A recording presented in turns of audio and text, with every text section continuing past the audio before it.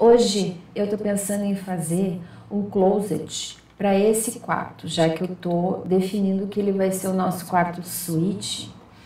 Então, o que, que eu estou imaginando? Estou imaginando em uh, trazer esse dormitório mais para a direita, aumentar, porque lá embaixo, lembrando, eu vou ligar aqui o térreo. Opa, aqui. Ah, não, aqui também não, aqui.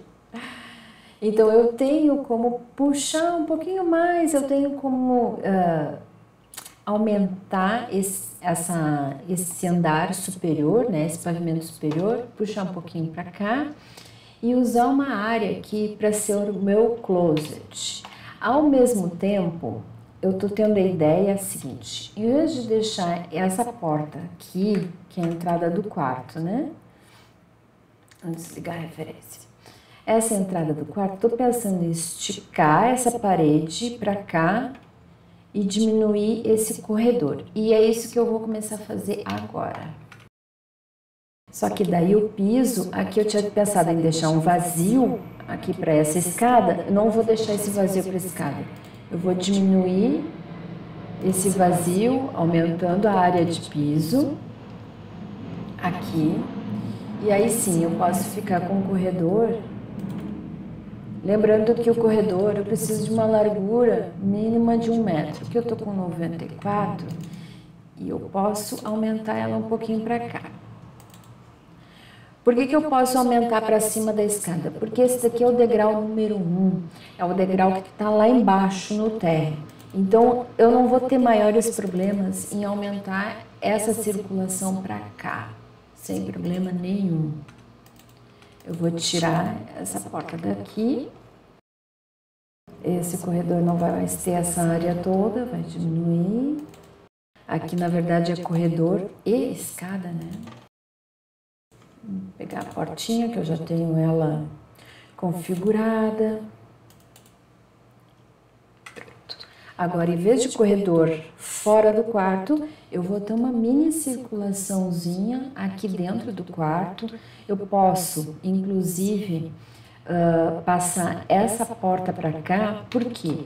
Porque daí eu libero essa parede. A minha ideia é liberar esse espaço aqui para fazer o closet.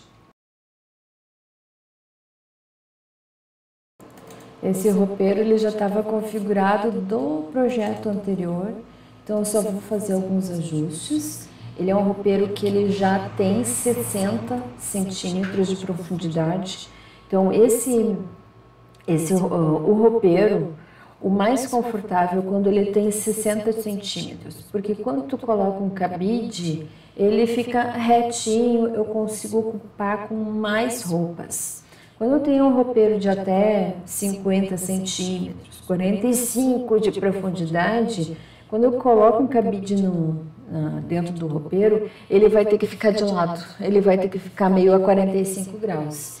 E nesse espaço, além das roupas ficarem amassadas, a gente também tem um problema de que a gente consegue colocar menos roupas dentro do espaço, dentro do, do armário. Então, eu vou criar dois roupeiros, estou criando dois roupeiros, um exatamente de frente para o outro. E no espaço entre eles tem 80 centímetros, vou deixar 80. Perfeito. E aqui, esta parede, ela não vai mais ter esse comprimento todo. Eu vou aumentar ela 2,40. Agora a gente vai ver que esse espaço aqui do superior, ele está um pouquinho maior do que, o, do que a área do pavimento térreo. Pronto, centralizei a TV, isso daqui é uma TV e um painel. Isso daqui é o piso. Vamos ajustar o nosso piso. Essa parede aqui também. Estamos com uma parede interna. Vamos transformar ela numa parede externa. Aumentei, já ficou com a parede larga. Uhum. Aqui a gente aumenta o piso. Então, vou contar para vocês aqui, ó. De closet, a sobreposição. De closet, temos dois metros de largura. Dois metros. Do closet, das costas do armário até o final da parede, tem 2,60. Aqui, 2,66, sendo que aqui eu tenho uma, uma cama de 1,66, ou seja, ela é uma cama do tamanho queen size.